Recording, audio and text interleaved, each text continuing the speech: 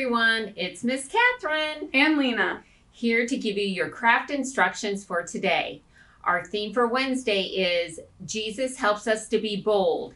Trust Jesus. And our craft is a cardinal. Our St. Louis Cardinals baseball team has been blessed with powerful hitters and strong pitchers, which has helped them to win 11 World Series championships.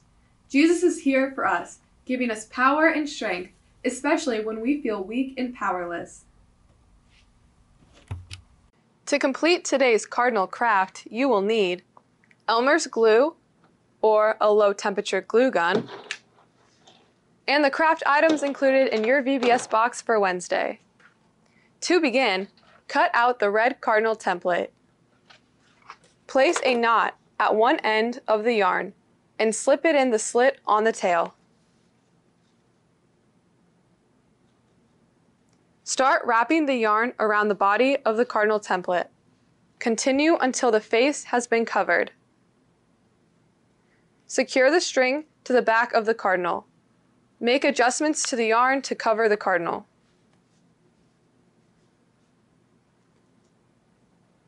Glue the black felt piece to the face and the yellow felt piece for the beak.